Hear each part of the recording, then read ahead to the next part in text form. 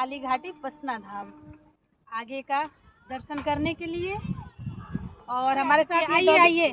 चलिए। देखिए साथ में है हमारे साथ नहीं छोड़ा इन्होंने। चलिए सब लोग चल रहे हैं। आज हम लोग काली घाटी की वीडियो चलिए।